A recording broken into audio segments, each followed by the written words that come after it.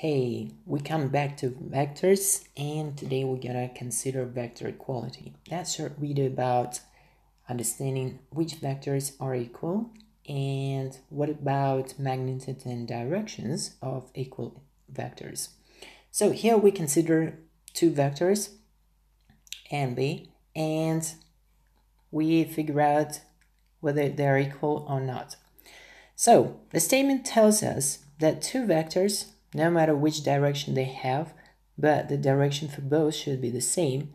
So that means if we have vector A, equal vector to the vector A should have the same magnitude or a length and the same direction.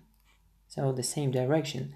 As you remember for direction, the angle of relating to some axis is responsible for. Okay? Or actually you can use the gradient. So it means that vector a star is going to be equal to vector a. Only then if directions going to be the same or the gradients of the segments for those vectors going to be the same or if you like the angles let's say to the horizontal line going to be equal. So alpha and alpha and the length or magnitude. So if you want to calculate the length, just remember how we do how we did it. We use Pythagoras through the triangle. Okay, if you figure out that this 3 by 3 and that 3 by 3, the length should be the same, angle should be the same, and hence vector A equals to the vector A star. Okay, so that's good and that means uh, any vectors which have the same length which has the same length are in magnitude and direction but no matter where where it's in in in space in the 2d plane so no matter it considered to be equal if they have those parameters the same. So you can have multiple vectors which are equal if they have the same magnitude and directions. Okay so what about like zero vector? So what if the vector, the starting point and the ending point, they coincide? It's simply the dot, right? Or just a point, okay?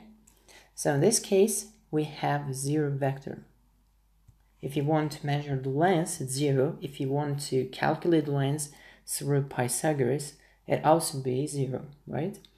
Okay, so that what means zero vector. So zero vector is the vector of length zero. So does it have any direction? Of course not, because you cannot set up the right direction because you don't have the segment, you just have the point. Okay, so zero vector doesn't have zero vector, so it doesn't have any direction. Okay, so let's move next. We have a little problem here. So you have parallelogram ABCD in which vector AB and vector BC are given as two letters A and B. Okay, so let's set up parallelogram. Let's take that case.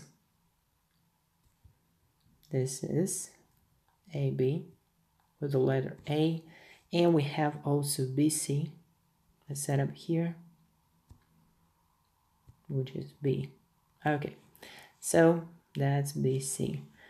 Because it's parallelogram, so we need to set up all other sides in parallel way. Okay, and I just highlight that we have two vectors. So what we need to do, we need to find expression, vector expression for the following vectors. So BA, okay, so where is the vector BA?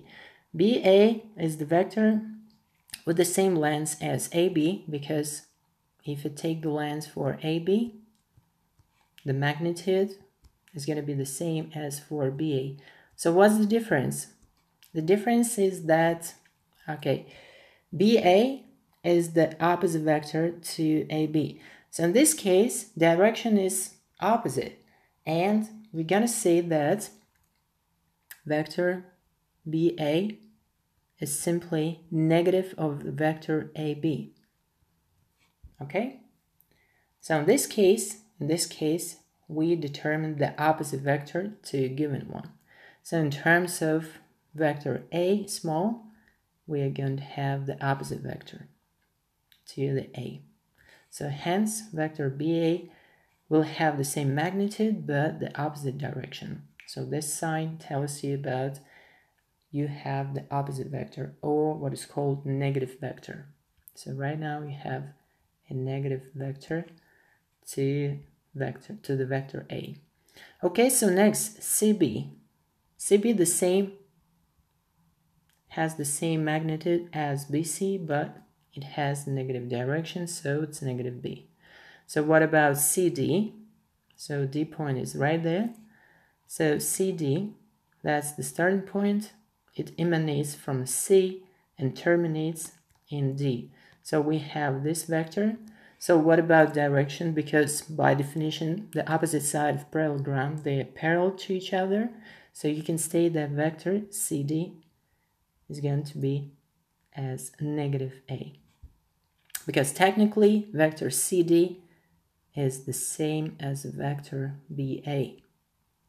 They have the same direction and the same magnitude. So hence we can get the expression for each one.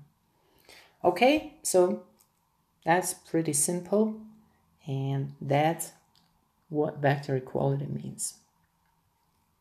Hope you enjoy guys and see you later in this topic.